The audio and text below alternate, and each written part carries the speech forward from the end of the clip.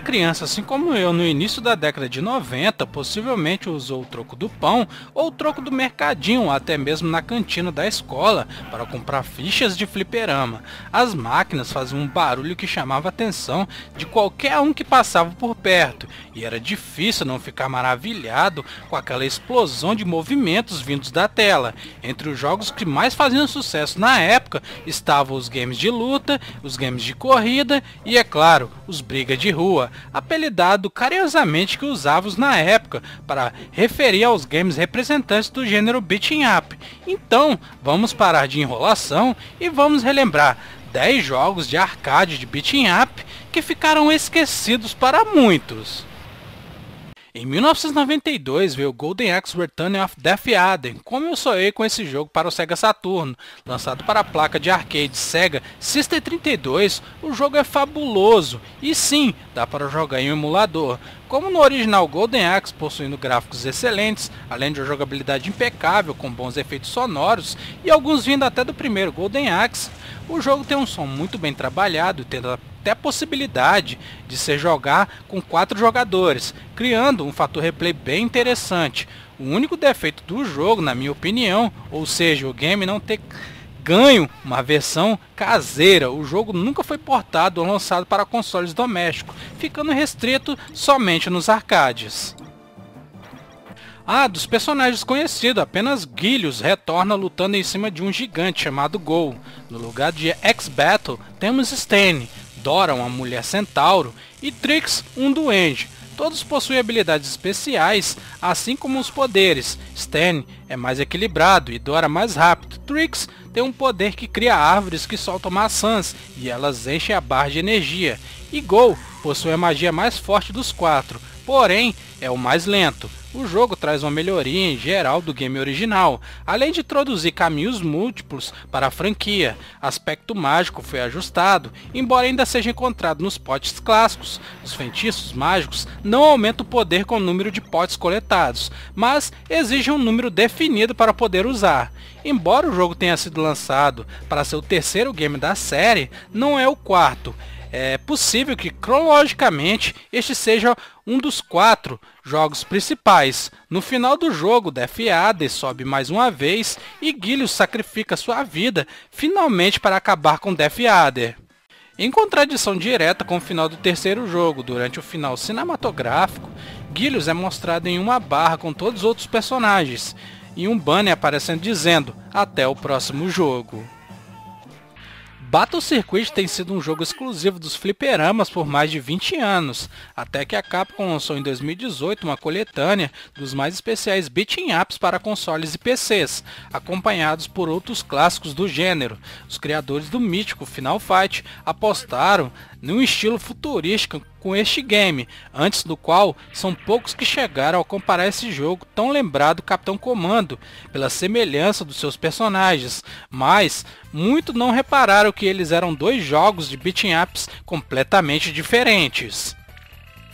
Não foi a primeira vez que Beat'em Up flertou com outros gêneros. Em todo caso, não foi necessário olhar para fora, já que a própria Capcom já havia feito jogos de Beat'em Up é, com elementos de RPG, como Dungeon Dragons, e uma evolução da fórmula vivida com o clássico é, King of Dragons, lançado em 1991, porque nos panfletos japoneses do game foram usados para promover este game em 1997. A palavra RPG foi usada com ênfase para enfatizar e deixar bem claro que o jogo é um beat'em up mais profundo, ou seja, que parecia na realidade um progresso de cada personagem foi diferente. Eles não evoluíram matando, mas obtendo dinheiro. No final de cada fase tínhamos é, a missão para gastar essas moedas e desbloquear movimentos extras, até mesmo aumentar um pouco de vida. O jogo contém gráficos muito bem detalhados, com um estilo artístico meio caminho entre o quadrinhos americano e o mangá japonês é, diversos personagens representados sprites de bom tamanho, destacando os sprites do protagonista e bosses finais, com uma grande variedade de paleta de cores e mesmo pode ser dito para os cenários e talvez um pouco atrás dos personagens. Battletoads tinha todas as características de uma franquia sólida, de seus personagens distintos, atitude de sua jogabilidade e dificuldade notáveis. Battletoads deveria ter ido mais longe do que foi, embora os sapos com nomes nojentos como Hash, People e Zits tenham começado a aparecer em jogos como Shovel Knights, no Killer Instinct de 2013, Battletoads tinha apenas 5 jogos no total, todos lançados na primeira metade da década de 90. Então, em 1994, a entrada atualmente final da série, aproximadamente chamado de Battletoads Arcade, fez seu caminho para os fliperamas e explodiu. Sim, apesar da popularidade da franquia, a estreia de Battletoads em gabinetes de arcade foi um fracasso financeiro para a Rare. Tanto que os portes planejados para consoles domésticos foram cancelados e as vendas decepcionantes de Battletoads Arcade pode ter sido para a razão para a Rare colocar a franquia em segundo plano. Isso é uma pena, porque Battletoads Arcade é muito divertido, assim como os outros jogos da série, e é um beat'em up, ainda mais original do que do Nintendinho. Battletoads Arcade tem tudo a ver com derrubar hordas de inimigos, você simplesmente vai de uma ponta a outra de um estádio esmurrando em qualquer inimigo que esteja em seu caminho, e é puro beat'em up não adulterado, é uma coisa simples, muito mais divertida. Este jogo também é notável por ser um dos poucos jogos em que os jogadores podem jogar com os três sapos, os outros crossovers como Double Dragon, o que ainda é melhor que o jogo, é, suporta três jogadores, então todos os três sapos podem participar do caos ah, no mesmo momento. Todos os três sapos é, jogam de forma idêntica, pois cada um tem suas próprias animações para seus ataques. Battletoads Arcade é um excelente beat'em up. Embora seja muito curto e muito fácil de vencer, apesar de seu desafio em momento a momento, ele oferece muita diversão e consegue obter uma qualidade razoável e variedade de poucos estádios que possui, ainda por cima com animações malucas, uma trilha sonora e um modo cooperativo que é realmente divertido. Você tem uma ótima experiência de pegar o jogo em suas mãos. Armored Warriors faz com que você escolha um dos quatro mechs gigantes e use para lidar com níveis de jogo. O truque principal aqui é a capacidade de atualizar seu mecha em tempo real, destruir os inimigos que irá derrubar regularmente diferentes peças como arma, braços e pernas e você pode pegá-los e substituir suas peças existentes que desejar. O controle é muito bom para um beat'em up, muitos ataques diferentes que você pode realizar com três botões de soco, salto e atirar. Por exemplo, se você pular e depois apertar o baixo mais soco, ele fará um ataque para baixo e outro ataque para dar o salto. Existem dois modos desse jogo, o modo padrão e o modo de tiro. O padrão é o sistema de beat'em up que todos conhecemos e amamos e correndo em torno de mechas é, destruidores. O modo de tiro e seu mecha vai avançando o tempo todo com a munição infinita e você explode coisas com ele tanto quanto você puder. Os gráficos desse jogo são muito bons para um velho beat'em up como este. Todos os sprites são lindamente animados para esmagar a infantaria no chão para as duas metades do mecha. Você acabou de cortar ao meio. Ótimos efeitos de incêndio e de explosão também. As músicas do jogo arrasam. Penso em como a Capcom fez músicas de alta qualidade. Toda vez que eu ouço isso eu fico animado. E também os punhos mecânicos e outras coisas batendo junto que soam muito bem, assim como explosões e coisas elétricas. Eu joguei esse jogo por completo e ainda é um dos mais divertidos beat'em ups de todos os tempos. A diversão nunca acaba se você é fã do mecha. No geral, é um ótimo jogo. Eu recomendo que jogue se puder. Tente jogar em emuladores como o Mami. Nos anos 90, a Capcom tinha se tornado uma das principais produtoras de games para os fliperamas. Além do sucesso global de Street Fighter 2, a empresa japonesa também tinha se especializado em games do estilo beat'em up, junto com Final Fight, Capitão Commando, e em 1994, após publicar Cadillac em Dinossauros em 1993, ela resolveu resgatar os alienígenas da sétima arte e colocar em um único game, Alien vs Predador era que jogar com quatro jogadores simultâneos. Dutch, uma versão de Schwarzenegger. Tenente Lin, que seria uma releitura de Ripley. Predador Guerreiro e Predador Caçador. No game, a missão era detonar os xenomorfos que tinham invadido a Terra. Como qualquer game do gênero beat'em up, para os fliperamas o negócio era sentar a porrada e ficar de olho no cronômetro. Durante as fases, os jogadores vão encontrando vários itens, como as famosas comidas que recuperam a energia, armas, até mesmo os cartuchos de munição que permitem atirar eh, um tempo sem esquentar a arma. E o ritmo dele é bem frenético. O tempo todo são hordas de aliens, explosões, de todo tipo de destruição. Até mesmo os personagens são rápidos pra caramba, exceto Dutch, que compensa isso na força. Os gráficos são excelentes, usados todo o poder da até então fresquinha placa CPS 2, lançada um ano antes, com pérolas como Street Fighter Zero, Darkstalker Revenge, ou seja, parruda para jogos 2D. Os personagens são grandes e bem desenhados, assim como os inimigos, especialmente divertido para jogar em dupla ou trio, se você tiver como. Alien vs Predador pode ser chamado de uma joia perdida, já que a falta de um porte caseiro restringiu seu público aos frequentadores de fliperama e bem mais tarde os suçadores de emuladores com mínimos pontos negativos ou menos positivos, como a trilha sonora, mas muitos acertos como excelente controle, jogabilidade, gráficos caprichados, até mesmo uma história no meio do caos que poderia se mesclar duas tramas de ficção tão reconhecidas. O jogo foi uma evolução do beat'em ups clássico da Capcom, que você já conhecia e adorava. Tecnicamente, o terceiro e último trilogia Cream Fighters da Konami, Violet Storm, chega nos fliperamas em 1993, um turbilhão de cores, gráficos de desenho animado, soberbos e ossos quebrados e pura violência. O jogo é um simples side-scroller beat'em up, a la Final Fight, com muitos pequenos toques de homenagem a filmes famosos. O chefe dos quatro estágios, Dolly, claramente um power loader híbrido de aliens, enquanto o chefe do segundo estágio, Joey, é claramente o corcunda de Notre Dame com um problema de atitude e uma tesoura elétrica gigante, além da capacidade de jogar lado a lado com dois amigos, foi rapidamente adquirido por fãs que lutavam em busca de outra fatia do caos. O enredo girava essencialmente em torno da noção absurda de que a Terceira Guerra Mundial acabou e ainda assim gangues de rua cruéis ainda vagam procurando causar estragos. Entra na cena Wade do Lee que depois de testemunhar o louco Fred Red sequestrando sua melhor amiga China, decide que a justiça deve ser feita rapidamente e do tipo de chutar a cabeça. O layout padrão dos personagens, um é versátil, o outro é veloz, mas um é fraco e o outro é forte e lento.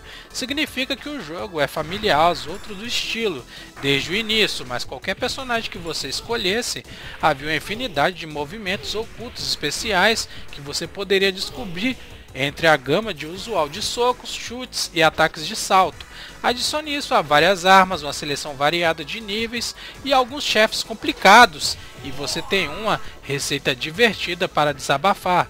Os ataques do jogo também pareciam apropriadamente pesados.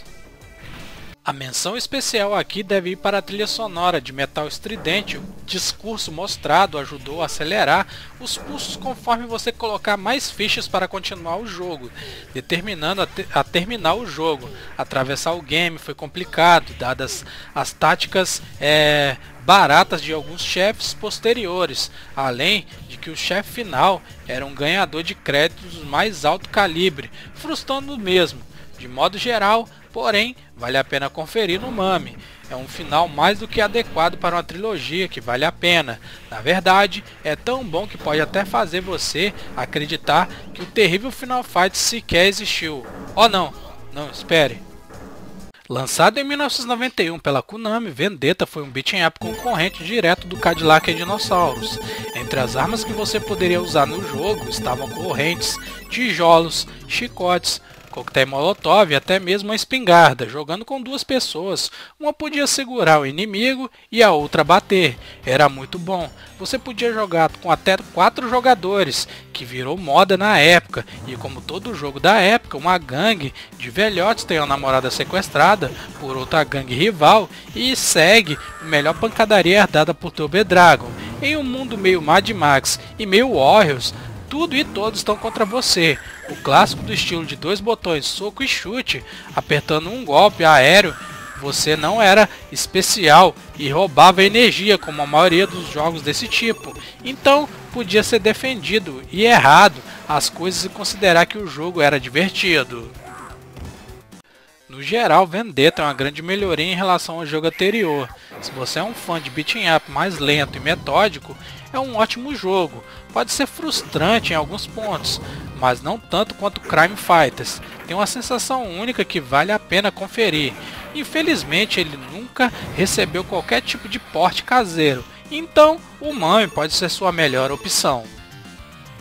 Lançado em 1992, o Warrior of Fate apresentava gráficos estilo de desenho animado ousados, coloridos e distintos. O enredo se passa na China antiga e segue com cinco personagens jogáveis, com exclusividade enquanto eles embarcam em a missão para impedir o Imperador do Mal se unir à China sob uma bandeira terrível. Isso conseguindo bater em centenas de capangas, chefes poderosos. Os cinco personagens vistos de cima têm todos os movimentos que você esperaria de um jogo como este, de atacar, pular e pular, atacar, alguns movimentos rudimentares de arremesso a Capcom também deu aos jogadores uma única cada personagem, um movimento especial para cada grande quantidade de danos e um alcance impressionante. Esses movimentos podem deixá-los vulneráveis a ataque do inimigo se errar, mas se recompensá-los com animações brutalmente letais caso você mate com elas. Além de tudo isso, cada personagem tem um movimento e pode montar em um cavalo que desbloqueia mais movimentos. Todos esses elementos aumentam a jogabilidade robusta do Wars of Fate. Os ataques também parecem substanciais, com alguns personagens sendo capazes de pular no meio e executar um ataque poderoso e desagradável. Isso causa estragos reais e danos extras a qualquer inimigo pego no meio deste ataque devastador. Os designs dos inimigos são variados e mantêm um tema central da narrativa do jogo. Você encontrará inimigos diferentes, cores, carregando facas, arcos e lanças. As lutas com os chefes podem ser bastante difíceis. Cada um de seus ataques pode remover grandes pedaços de sua saúde. No entanto, nunca parece ser injusto, pois você terá acesso a poderosas armas temporárias que pode pegar e causar muitos danos. Este é um título fantástico e digno de qualquer jogador. Eu realmente recomendo. O porte que saiu recentemente da antologia da Beating Up da Capcom, você pode sentar enquanto carrega o jogo em seu console, é uma ótima maneira de terminar a noite. Undercover Corps, aqui temos Zen, Matt e Rosa, ou Cloud, Buba e Flame, como são chamados na versão americana. Zan é um faixa preta de karatê, Matt, um ex-jogador de futebol americano expulso do esporte por ser muito violento. Será que ele já tentou rugby? E Rosa, uma justiceira em busca de vingança pela sua morte de seu noivo. E como é de se costume, cada um se comporta de uma forma diferente no gameplay. Matt é grande e lento, extremamente forte. Rosa, a mais fraca, mais ágil. E Zen é o típico intermediário que geralmente agrada a maioria. E talvez a única coisa que faça sentido com undercover no nome é que nenhum deles se veste como policial e todos usam roupas velhas, aparentemente cheias de sujeira e com algumas adaptações, com um pedaço de armadura para o Matt, joelheira para a Rosa. E isso combina bem com o resto, pois todo o jogo tem um estilo meio Mad Max, os cenários são locais abandonados, destruídos e cheios de cadáveres apodrecendo ao ar livre. Os inimigos vestem armaduras improvisadas, roupas retalhadas e muitos deles nem são totalmente humanos. E é possível ver algumas semelhanças com Streets of Rage na premissa do jogo, pois lá também temos três policiais que lutam contra um chefão do crime que dominou a cidade, mas conforme o jogo coloca robôs, mutantes e outras coisas, ele vai ficando mais autêntico. Os gráficos do jogo são muito bonitos. Tempos depois, essa equipe saiu da Irem e formou a Natsuka Corporation, conhecida pela série Metal Slug, talento deles já pode ser notado aqui. Os cenários são detalhados e usam cores de forma muito boa, estabelecendo bem um mundo pós-apocalíptico. e os personagens são bem desenhados, exagerados nos visuais, e embora não seja cartunesco como em Metal Slug, Destaque também para os efeitos de explosões, que são fantásticos, e vários fundos de cenários são interessantes, como o navio afundado da primeira fase ou a cidade submersa da segunda. Felizmente temos um porte para Super Nintendo na versão japonesa, tem suas limitações como a ausência de jogar de dois, mas pelo menos não corta nada sem motivo. Sengoku 3, o jogo segue à risca todos os trejeitos dos bons beat'em ups clássicos, possui personagens diferenciados. Inicialmente o jogo oferece quatro personagens, Kanjetsura e o mais equilibrado, Kongo, a barra pesada e mais lenta do que o grupo, Falcon, o de maior alcance, e Kuranai, o que é mais veloz e mais fraca.